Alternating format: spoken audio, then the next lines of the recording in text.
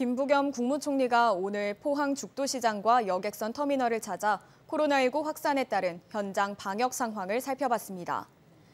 김 총리는 시장 상인과 여객선 종사자들에게 계속되는 방역 강화 조치로 피로감이 높지만 백신 접종과 사회적 거리두기 준수를 거듭 당부했습니다.